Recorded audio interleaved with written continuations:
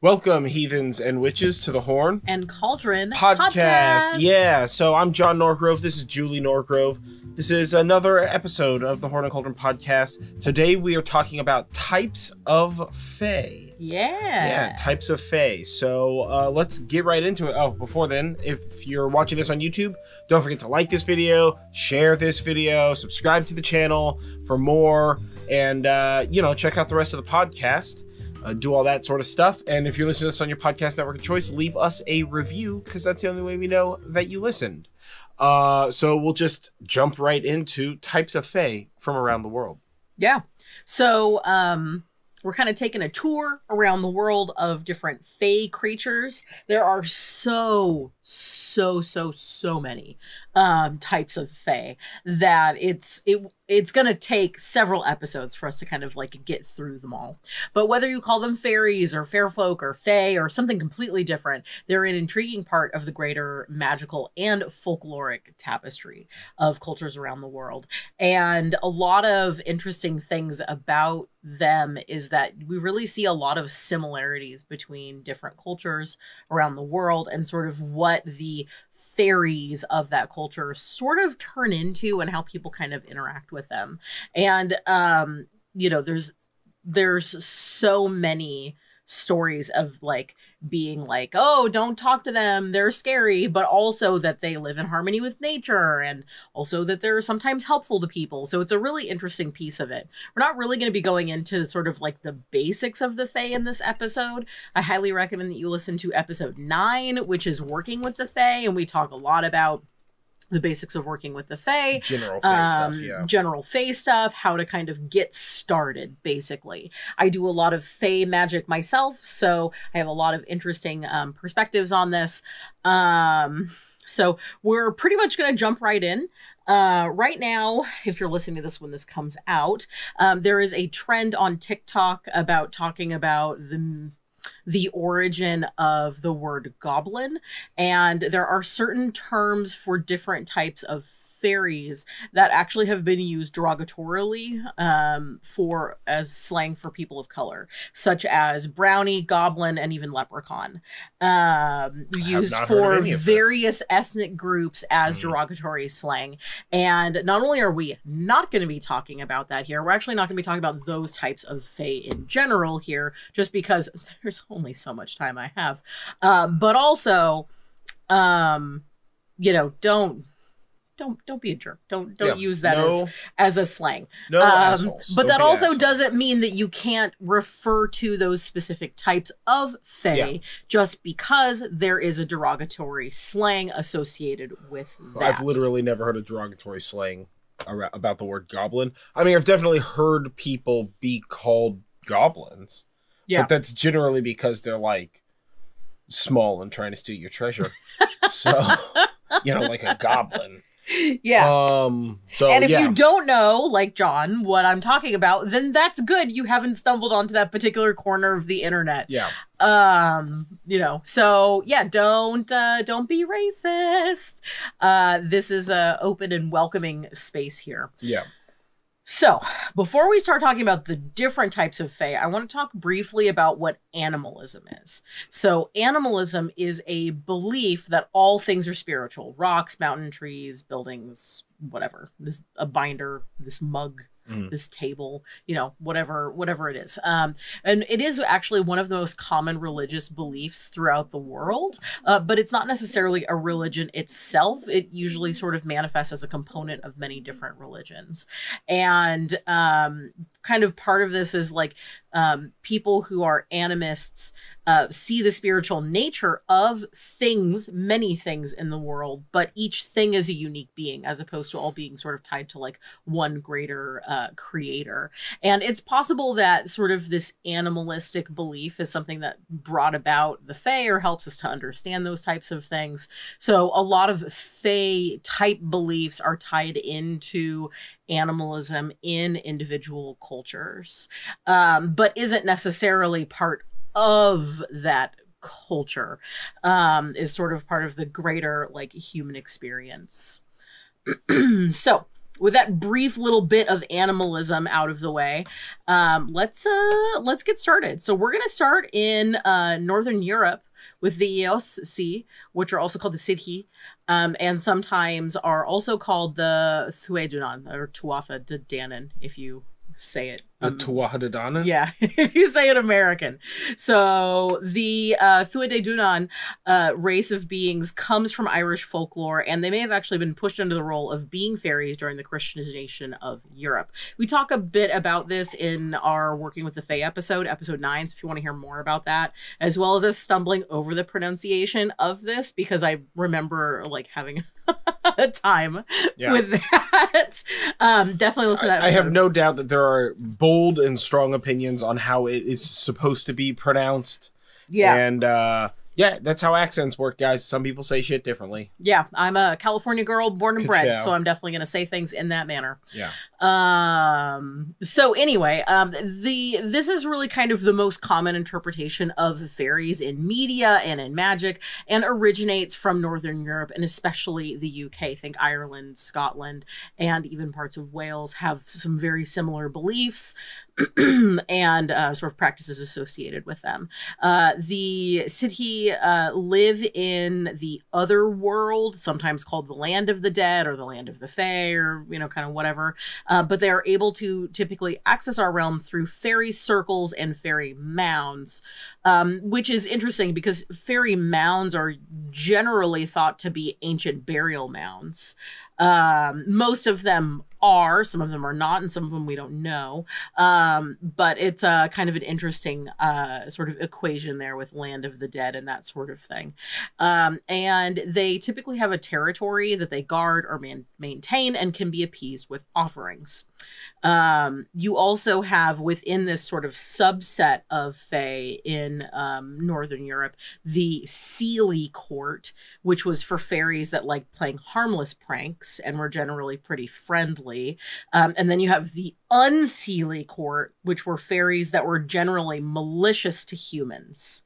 Um, just sort of like across the board there. And then you had trooping fairies who lived in small camps and traveled from place to place and were like neither really um, beneficial or or malefic. They just sort of like are in the middle there. Sometimes they're nice, sometimes they're not nice. Um, but there's a lot that goes into this belief, and really the you know a lot of the information is don't deal with the fae because they're bad and they're going to hurt you but the thing is is you just kind of have to like Well, it's Under- like some types of fae. It's sort of to, just to, I mean, circle back around to the racist thing.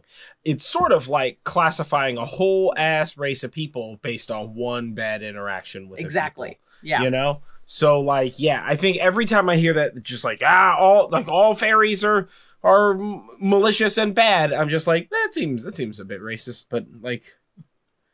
You believe what you got to believe to sleep at night, guy. Yeah, pretty pretty much. Yeah.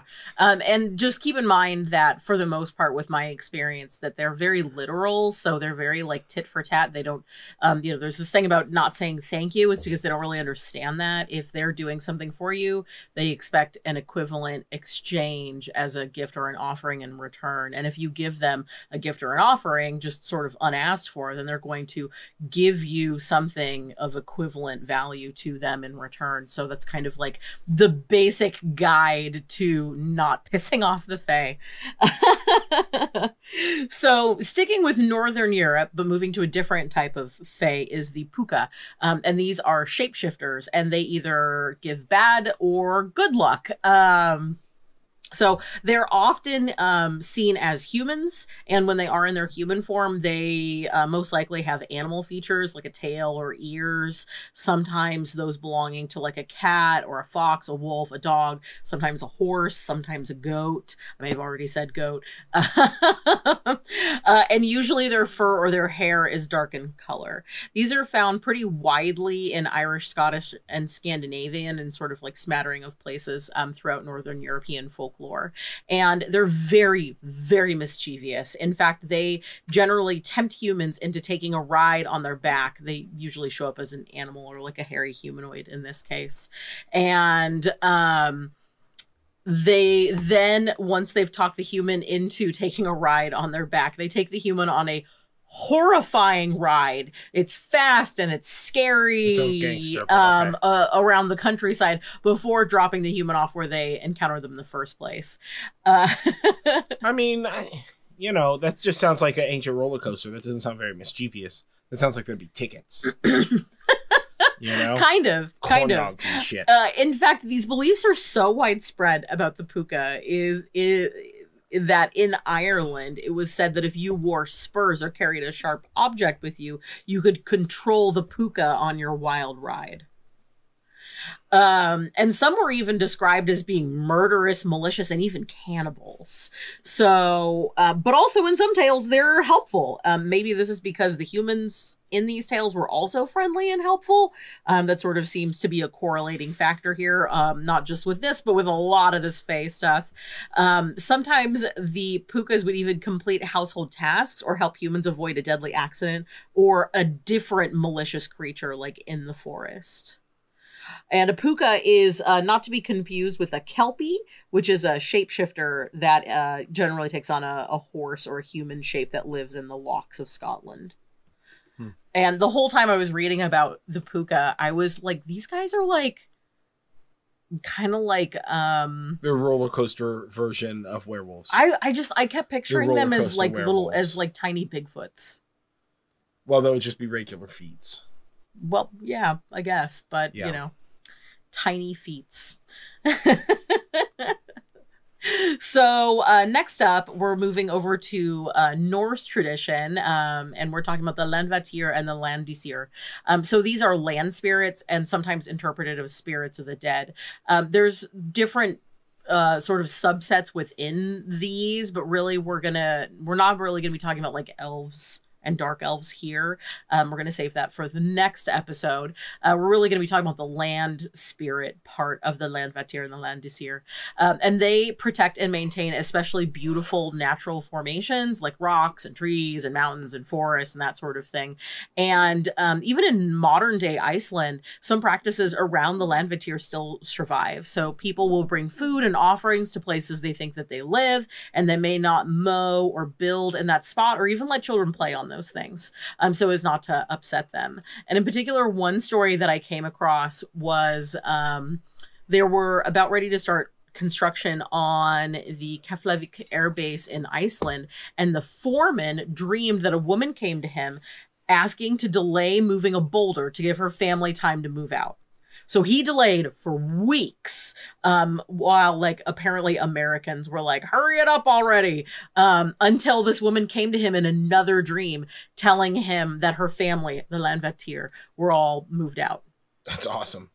Yeah, and, and and not only that, um, Iceland Iceland keeps alive a lot of these types of things. There's some traditions around elves and stuff like that too um, that they keep alive. But on the Icelandic crest, they have four types of landvættir on there that help to protect Iceland. Hmm. Uh, so it's it's pretty dope. now moving south and also maybe backwards in time, ancient Rome also had sort of fae folk. Um, they had genius loci or genii locorum. That's the plural of them, um, and those were the protective spirits of a place. There were it was really common to have altars for these, and they were usually depicted as holding a cornucopia, a bowl, or a snake, and you would just like leave offerings. A thing to hold stuff, a thing to hold stuff, and an angry spaghetti. yeah, basically. I don't know. Uh, one of these things is not like the other. One of these things will bite you if you're wrong.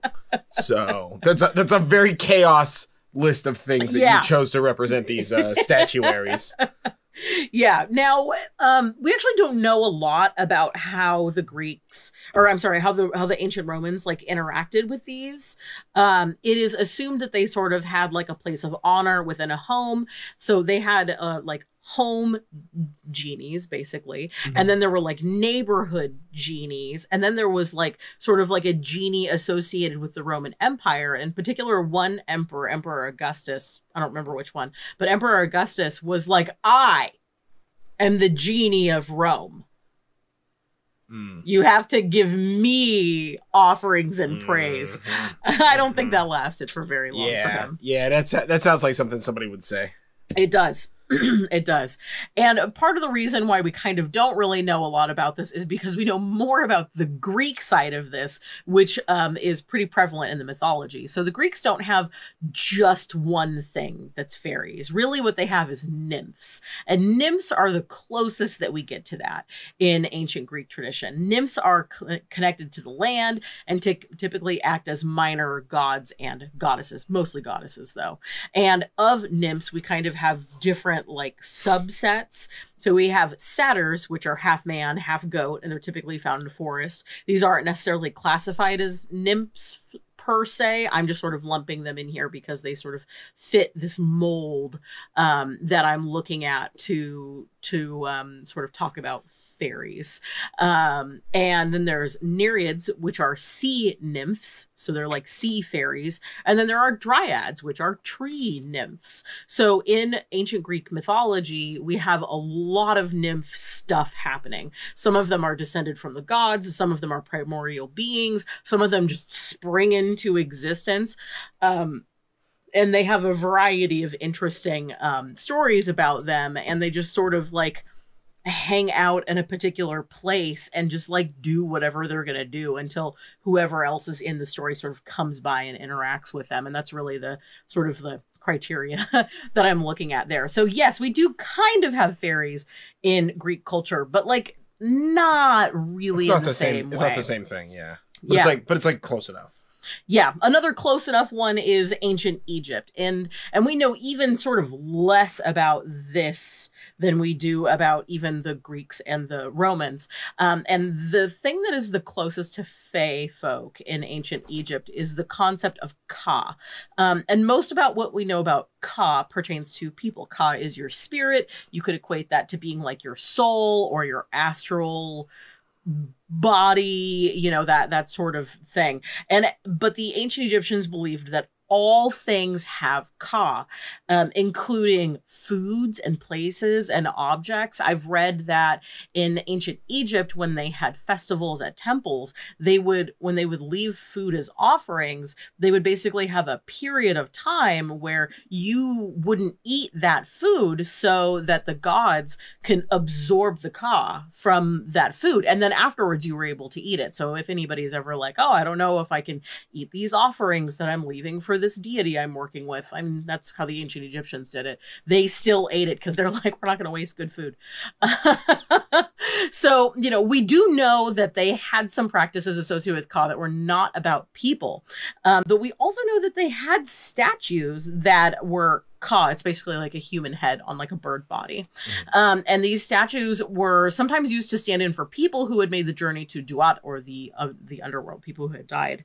And um, these little statues, they like put in tiny houses and mausoleums inside of their homes and places of worship, and they would often stand in for um, a person during a you know like a ceremony or a ritual or something like that.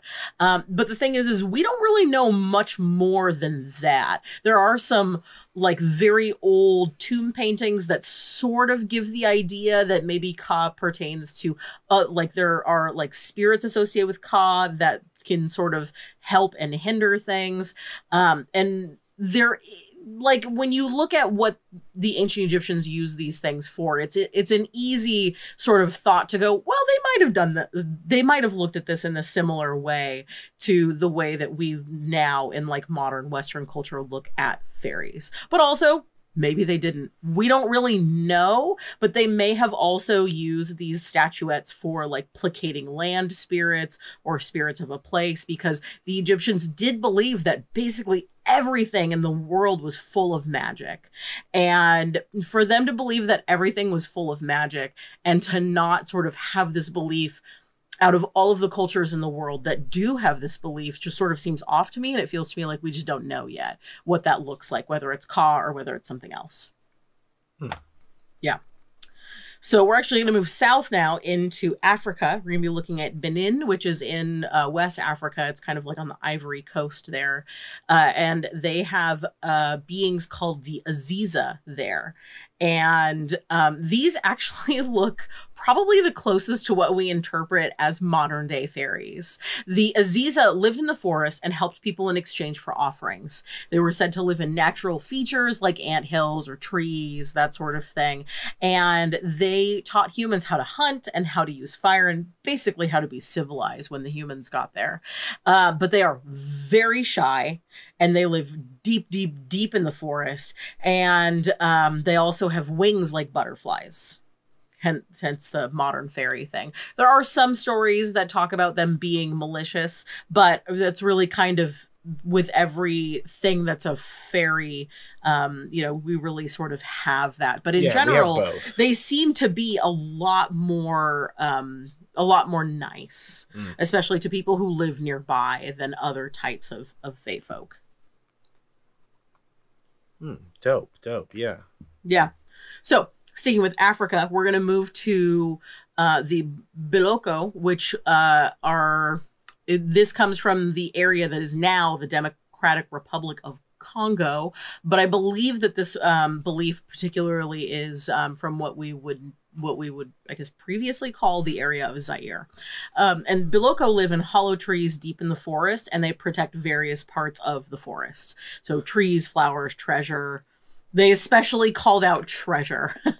Yeah. Again, same thing, right? Trees, flowers, big old boxes of gold, same thing. Same Yeah. exact thing. Fancy rocks. Yeah. yeah. rock and roll. Um, it is said that the Boloko are not friendly to humans. Most of what I've seen about them, they are people eaters. Um, but that doesn't mean that there aren't stories out there. It's not easy for me to find information about an about an old belief from Central Africa as an American living in the times that we're in now. So, um, you know, that's sort of my PSA asterisk is I am doing my best to represent things as well as I can, particularly for areas that may have been um, traditionally sort of pushed down by those in power, whoever those in power happen to be. Um, so uh, yeah. Anyway, um, so most of the stories are where the the Boloko are not friendly to humans, uh, but they are small, like about uh, about knee height and they are adorable but it kind of it, it, kind it's kind of like all of the these stories um, give off the idea that the Boloko have a grudge to settle with humans. Like they're upset with humans and kind of like getting back at them, which is kind of interesting. Um, and they also carry little bells and they entrance humans nearby with their bells and then they kill them and eat them. Uh, which is interesting um, when you talk about the bells thing because um, in um, in like northern European sort of fairies, they typically have um, they they typically have voices like bells or that sort of thing, or you can hear a tinkling of bells when fairies are around. So it's interesting that this comes up, and I don't know if they're linked in any way, but um, it is an interesting uh, coincidence happening there. Yeah. So moving into India, uh, they have Yaksha and Yakshini. And um, these are also nature spirits tied to the land and also sometimes treasure, very important. some are friendly, some are malicious. Um, and they're really just sort of like guardians of the land that usually also have supernatural powers. So, and the supernatural powers vary a lot. Um, uh some of them you know they can like see the future or they can breathe fire and one of them is particularly good at tantra. So you know they all have sort of their own thing and even some of them have temples. Um in fact in the middle ages Jwalamani uh Jwala Mailini, sorry, uh, had a temple built to honor her as a tantric and fire deity uh, for the Jain religion. Uh, and there, it, it sort of depends on the regional religious belief, but um, about these yaksha and yakshini, um, that depending on the religion, these are immortal spirits or they're mortal beings or they're gods. There's kind of a lot happening there. So it's difficult for me to say this is what they are because the beliefs between the main three religious groups about these particular entities is similar but also not. There's a lot of Venn diagram stuff happening there. Mhm. So I'm picking things from the center of the Venn diagram. So moving into Japan, we have the kami. Uh, and there are other types of Japanese like fairies, so don't don't get at me for not talking about yokai. But um, we're gonna talk about the kami today. Uh, kami are um, sometimes land spirits. They're also sometimes natural forces like wind or water or even laughter. Um, sometimes they're animals, and sometimes they're even ancestors who are who can be both beneficial or harmful depending on what the situation is. Um, they are not only do they sort of have this like they can be spirits or natural forces or whatever, but they're also generally tied to places or things or natural phenomena or sometimes even states of being. Um, there were people who would um, essentially reach a ritual trance and then they are basically interacting within that ritual as the kami of rituals. Um, so there's we definitely see a lot of animism in that type of um, bit there. And um, one of the interesting things about the kami that's different than Western folklore is that people are expected to keep the kami happy. We do see that in Western folklore with fairies. Um, but the kami are also expected to perform their role. So if you have a kami that is in particular charge of, say, like a fish pond, um, then you as the human who lives near this fish pond are expected to bring the kami offerings and to help and to take care of the kami as well Yeah. as this, this fish pond. Yeah, but the kami is also on the hook for taking care of this fish pond uh, which is not really something that we typically see with western fairies but in my working with them that is definitely a thing. You know there's a um, a reciprocal relationship that you have. And uh, much like with in, much like with the previous one with India there's a lot of variations here based on re- on region and religion. So again I'm just taking the center of this Venn diagram Yeah, sure. Well, and this is, I mean, you know, this is really like that, and I hate the term like 50,000 foot look at that stuff. But this is really like a 50,000 foot look, right? I mean, this is sort of like the like the highlights for each one of these regions as we sort of like cross the globe with these things. If there's like like if you have a like a particular um piece of information about these fae um, or fey like creatures like with your background and like have more information or want to share it or whatever then like you know co- like go come over to the youtube video if you're listening to this on a podcast or if you're already on the youtube video like comment below with that and share it with everybody else so we can all learn yeah like absolutely. together or like link a book that you like that has the stuff in it or you know yeah whatever or if there's a type of fae that you want to hear more about Yeah. you know let us know Yeah. as well we can always bring it up in a uh, in a as a pub chat question. So if you have a question or comment Mhm. about it there, we can always kind of like do a little micro deep dive in that direction. Yeah. exactly Yeah. exactly so moving in our little world trip here we're moving over to australia where they have the mimi um, and these are um, they're very thin. They're very tall um, for fey folk. Uh, but it's um, it's uh, sort of spoken that a very strong wind would break them in half. That's how tall and thin they are. Um, and they live in the rock country, which is sort of like the west and southwestern part of Australia. But the belief in the Mimi um, permeates throughout all of the indigenous peoples of Australia. It's just that's where they happen to live, is in the rock formations. Uh, and they live either in caves or in cracks of the rocks there. They have like full on, like they have clothing and they do their hair and they have weapons and they make food and they're they're just like a tribe of like um humanoids basically.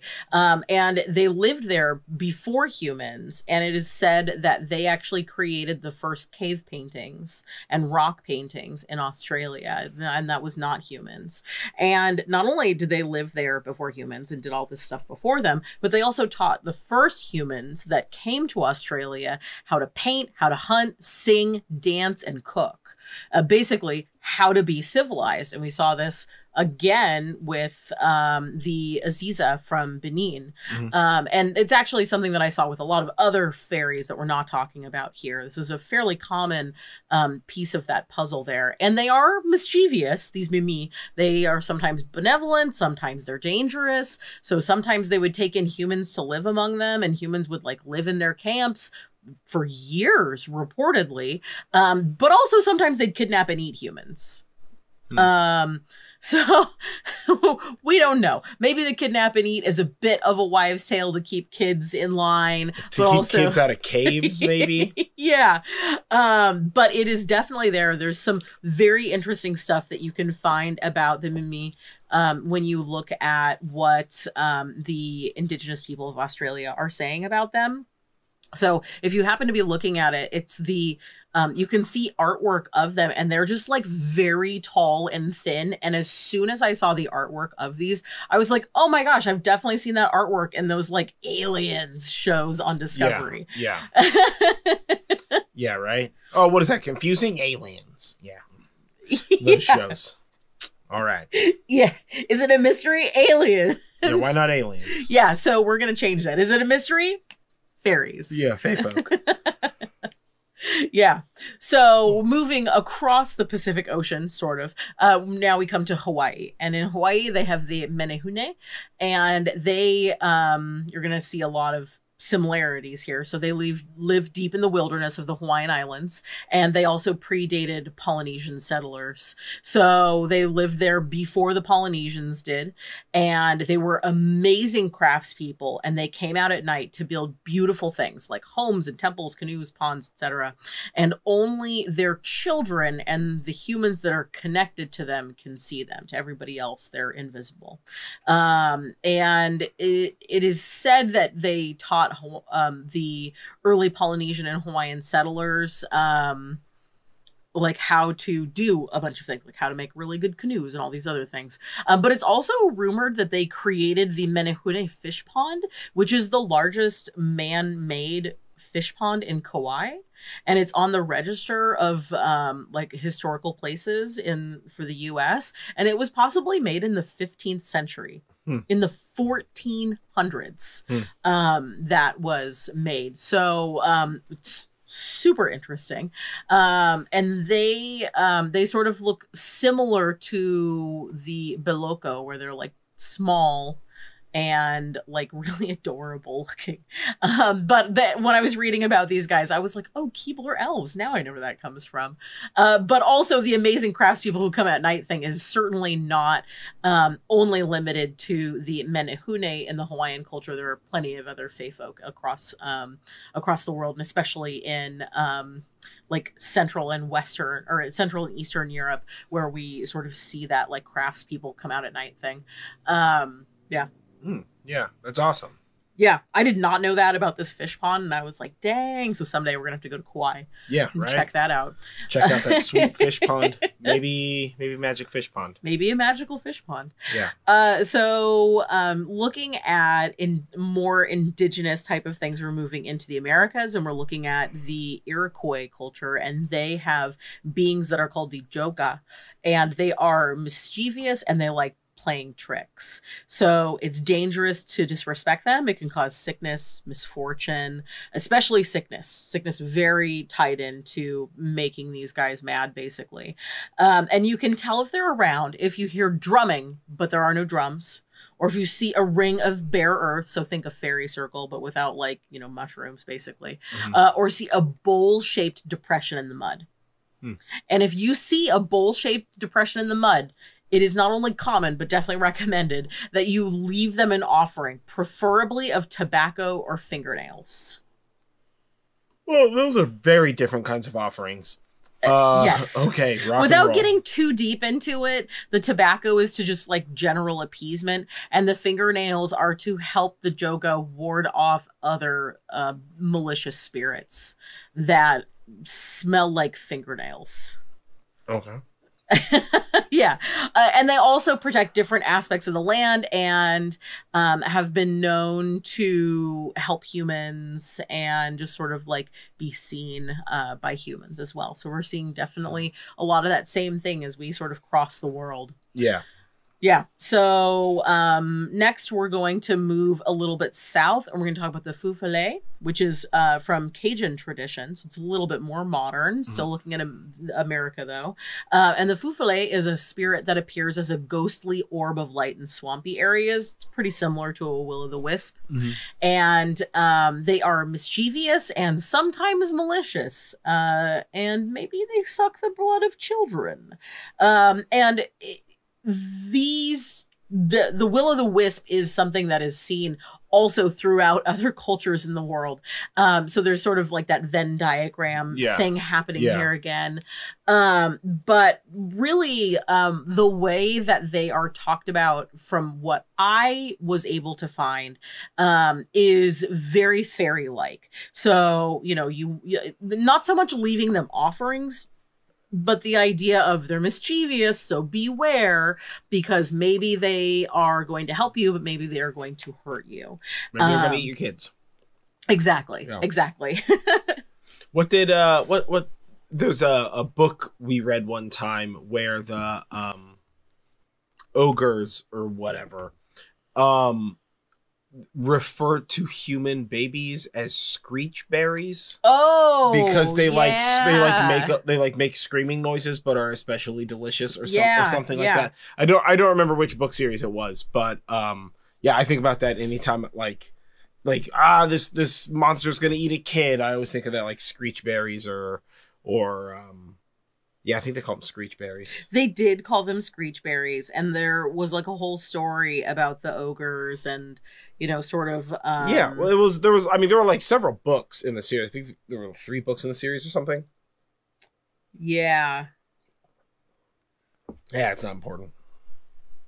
Uh, it is the uh, Dis, the the the Dis series, D I S, Dystopia, Disillusioned, and Disenchanted. Those are probably out of order. Um, by Robert Kroese. Yeah. Um, yeah, very fun, very very yeah, really really good books. Really good books. Yeah. Yeah. yeah So still in the Americas, moving south um, into Mayan culture, there is the Alux, um, which are nature spirits and sometimes ancestors that live in the Yucatan Peninsula. Uh, these are usually invisible unless they are communicating with or scaring away humans. Um, and sometimes they will also be uh, visible to congregate and party. So sounds very much like fairies to me. Uh, they are also tied to natural features, and they are also known to play tricks. Um, some people believed that the Aluks um, could make deals with uh, like farmers to bring them abundant harm- harvests, or that they would ask for offerings from humans. Like if they're passing by somebody's house, they're like, "Hey, give me some of that food," and then if the humans were like, "No," they would you know do mischievous and bad things. But if the humans were like oh yeah sure here have some they would um then bless them with with positive things. Another thing that we see really commonly with a lot of um fairy type uh legends. And um there are there are these like two story homes. Some of them are tiny some of them are quite large uh, and some of them are regular home size um that ancient people built. And they may have actually built these homes for them to live in uh, sort of as offerings but also just homes you know to kind of take care of them and to help them out. And uh, sometimes the looks are called uh, duende which is spanish uh, for the word goblin basically All right. I mean, well, so like it was a brief journey around the world, sort of, to like kind of look at a bunch of fairies, but then like let's sort of classify where we've talked about with fairies. It seems that fairies are are nature spirits associated with with a specific feature in nature, yeah generally some function of mischievous yeah. Uh you know some are more visible or less visible some Yeah. are more helpful or less helpful. You know it's sort of you know it's that thing where it's like every culture has a dragon. Yeah. You yeah. know and it might not be the same kind of dragon. Oh it's a drake or it's a wyvern or it's a serpent or whatever. But like it's that thing where like Yeah. we all sort of have like a like we all have like a uh like a connection yeah across cultures to this like idea and that idea happens to be like fey folk which you know we're using the term Fey folk, but that's just because like that's the like kind of normalized term in English. I mean, for, we could like- say fairy, but to me, fairy is a bit more like, um, it, it's reserved for more of the fantasy side of things in my mind. If you Sure. use fairy, like that's no hate, literally at all. Yeah. But to me, there's sort of like a delineation there between like fantasy and what I consider to be like actual magic and beings. Mhm. So Yeah, that's why I use Fey. Okay. Yeah. Sure. Sure. Sure. Totally. Totally.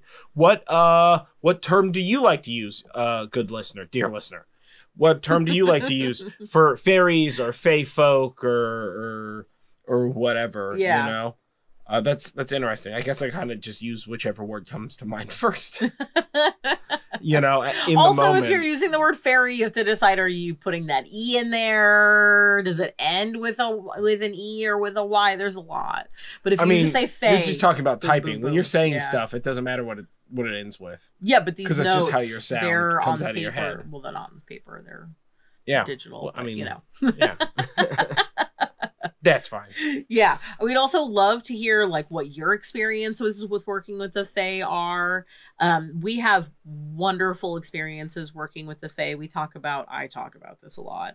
And um you know we have fae that are very active where we live and they help uh, to protect us and our home and um in in payment for that we have basically built a reciprocal kind of relationship bond with them where we help them out, they help us out. We'll sometimes just see little gifts. Like one day there was just a statue of like a ram that showed up at our house. Yeah, we don't know where that came from. Uh, but so we have that now. Uh, we lost an axe in the woods. We've like it's just gone. By the way, Just gone. yeah, and it was lost like in the middle of a bunch of us all. We were like throwing axes at some targets, Yeah. and like one of them just got absorbed by the earth yeah. or yeah. something. And They also uh, brought you what like a like a bag of cement? well, we found. Well, I mean, we've just found like a bunch of weird stuff. Yeah. uh, you know around the property and such so as we like take care of the property and like clean it up and things like that i mean you know it's it's that thing where like everybody kind of has a different experience with it. I think that you know you're a very like active participant with the Fae sort of Yeah. situation. Uh whereas for me i just sort of talk to everything all the time. Like i'm the guy like like i'm the guy when like uh like if like you're walking and like a leaf falls out of a tree and gets you i'll just be like what are you fucking doing to this to a tree? You know? Like i'm i'm that There's that animism again. i'm i'm that person. I just like talk to everything whatever you know? It it fucking gets it. Speaking english right? Whatever. Uh so yeah i guess it's a little it's a little bit more like landvættir for Yeah. me like sort of that like that like everything has a spirit kind Yeah. of a thing you know I, I i wouldn't go so far as to say that i like work with the fae you know yeah. but i also don't You not sort of do participate by proxy, in if nothing else. yeah well and Yeah. and i mean like I, I like i do work with like from my perspective with like the landvættir and like w- you know moving the earth and doing the garden and building stuff and like helping sort of like clean up and like better maintain like the forest and and things like that uh around the property so i guess that's kind of like my sort of like association uh in quotes with the Yeah. uh with the fae you know even though i don't really use that term like working with the fae for me the fae is like very specifically the term like like the term for the tuatha Mm-hmm. right uh insofar as like tuatha is also the right word but just way longer to say Well, um it sort of depends. Tuatha yeah. Is kind of like a it's very specific well, it is very specific, but also like so they're also like a race of beings, and we talked about this in the Dagda deep dive episode a little bit. That Mm. when the Christianization of Europe happened, one of the things that happened, and and not just with the Dagda, but with other deities as well, but especially the Dagda. It's a it's a it's a it's an easy way to sort of like bring that to light. Is that the um, monks and the missionaries that were trying to convert people would intentionally try to um, sort of lessen the the native religion that people were practicing. And in one way, with the Dagda, they basically were like, he's a drunk, ugly oaf Yeah. whose clothes don't fit him, you know, uh, as opposed to like a powerful deity. And it is it is thought by by several scholars that the Tuatha De Danann are considered fairy folk because of this. Mm. Um, there's a lot Like that rel- goes relegate them from gods to simple land spirits. Yeah, yeah, Sure, and sure, and sure, also like the monks, and we talked about this in in episode nine, working with the Fae. Um, Christian monks also, um, for a time, to sort of make it so that people who believed in fairies could also be part of the church to kind of like meld those beliefs. They um, also wrote and believed and taught that fairies and land spirits were fallen angels, Mm. and that, so they were like okay Yeah. basically to be around so um you know that's that's kind of like the the sort of like drinking game Yeah. christianization of europe guys Sure, sure, yeah. for you Yeah. Hmm. All right. So next up is uh spells. Spell. yeah so we only have one spell for you today but that's because we have just a list of stuff that we went through um so this is a home protection spell and you can use this um with other deities if you prefer but this is sort of like especially written for fae folk and um just as a reminder this spell as well as all the spells that we share are spells that we create ourselves Yeah.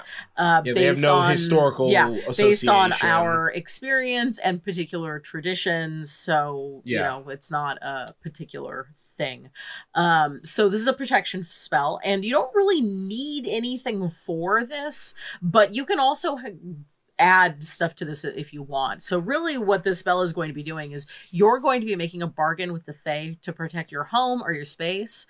And um, so using suggestions from the correspondence table which we're going to read um, uh, some items from in a couple of minutes um, or just sort of like things that you think that the fae would like or things that you like that you want to use create a small space where you can leave offerings and gifts for the fae.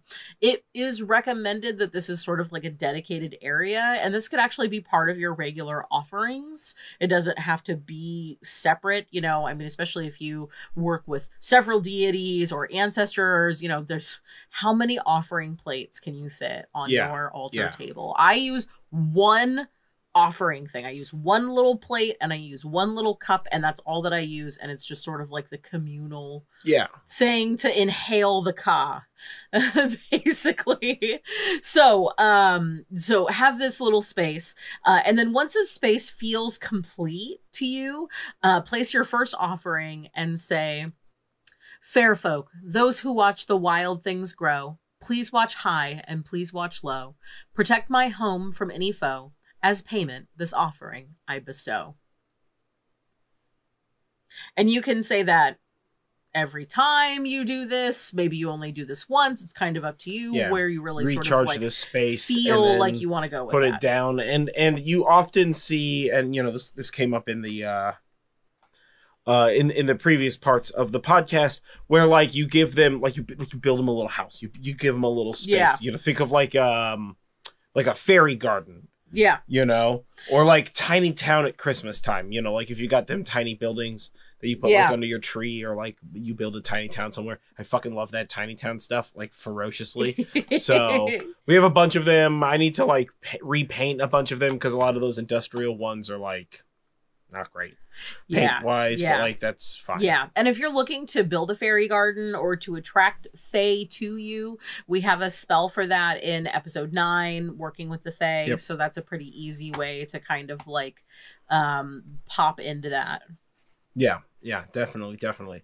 So uh next up, correspondences. Yeah. So um, these are just suggested correspondences. You can go with kind of whatever else you want for the Fae. Um, so animals would be like um, fireflies, mice, frogs, chipmunks, kind of anything that a fairy could ride. Yeah. Uh Like sweet fairy mounts. yeah, exactly. Colors would be like green or yellow or brown, a lot of earth tones, but also flower colors is kind of a really loose one here with the colors. As for stones, um fuchsite, moss agate, and quartz are particularly great for fairies. Uh plants berries and clover and foxglove and hawthorn and rowan as well as wood sorrel which we have a ton of Yeah. uh, where we live Yeah, we do a ton. yeah um and for foods uh, bread and butter cakes candies cream fruit milk um any sort of liquor um the fay that we work with here particularly like fizzy drinks Yeah. um, so that's a, a fun one to leave. Uh, there are some deities that you can work with associated with this. Any of the Tuatha Pan, Morgan Le Fay, Apsara would all work. Uh, and then miscellaneous objects, um, anything shiny um or pretty uh so like coins also old trees or small caves you know natural features uh doll houses and miniatures um any sort of like revelry particularly outside. And then also beltane and samhain are associated with the fae uh, as well as um dusk and dawn because those are times when the veil between worlds is thin so it is believed that you have more ability to um, see and work with and participate basically Yeah, with totally. the fae Totally. yeah we definitely have experience with that Yeah. Yeah. Yeah. Rebel rousing and such like that. But yeah, so those are the correspondences. And if you want the complete list of correspondences as well as the Book of Shadows page for this podcast, yes, I know that I am currently two behind. And with this podcast going live, it makes me three behind. But we're getting ready for Fanime. So that's whatever. And actually, the la- Beltane 102, I'm like three quarters of the way done. But that's neither here nor Yeah. there. they'll be out Uh, soon They'll be out soon. Yeah, th- they'll they'll be you know as soon as I get back from Fanime I can just double down on those. But so yeah, if you want uh the Book of Shadows pages and like the full list of correspondences and all that kind of stuff, all of that stuff's available on our Patreon. We have a Horn and Cauldron podcast tier, and uh, that's how you get access to that stuff, uh, as well as like a Discord channel where we can like where we like chit chat and such like that. Uh, and then um yeah, speaking of Patreon, I'd like to thank our patrons Alan, Miranda, Helena, Jeff, Alexa, and Adrian. You guys are awesome. Stay awesome.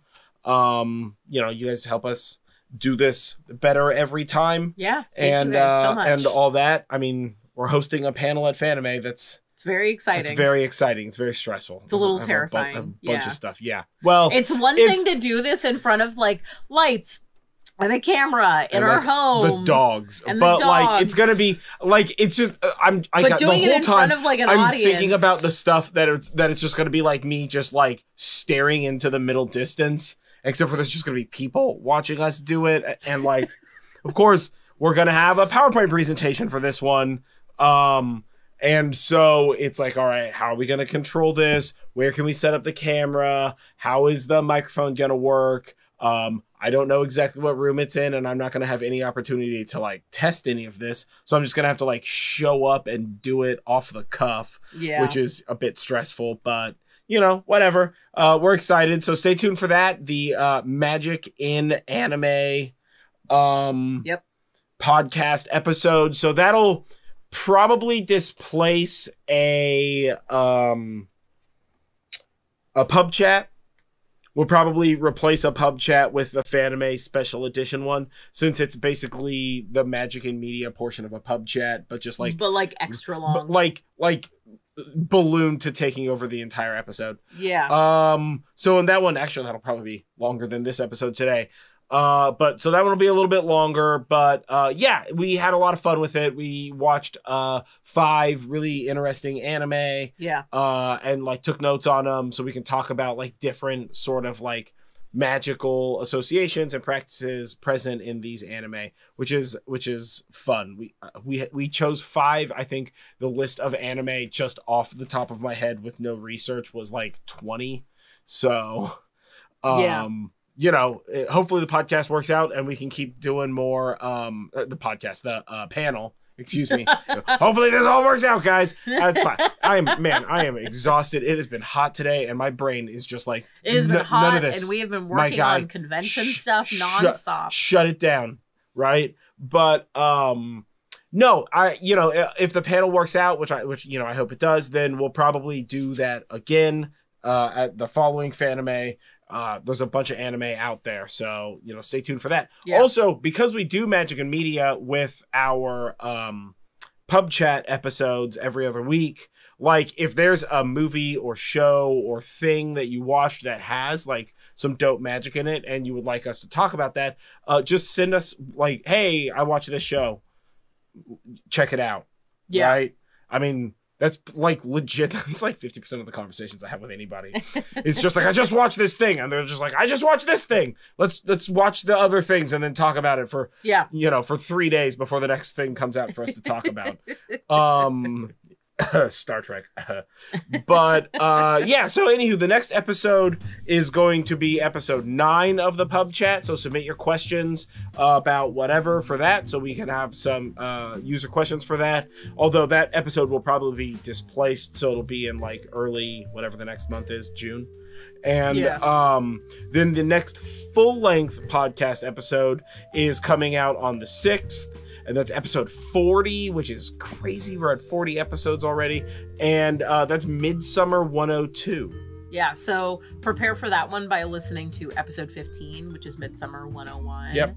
And uh, kind of get that baseline there because for the 102s, if you haven't listened to them, we sort of deep dive into a particular aspect or yeah a couple we of focus on just one or two aspects of the like um of the like the greater idea of like midsummer and then you know we kind of dive into that give you like a little bit of a deep dive on Yep. those which is real cool so yeah stay tuned for that but uh either way i've been jon norgrove this has been julie norgrove this is the horn and Cauldron podcast, podcast. and we will catch you guys next time stay magical folks Yeah, and don't forget breathe in self confidence and breathe out self doubt.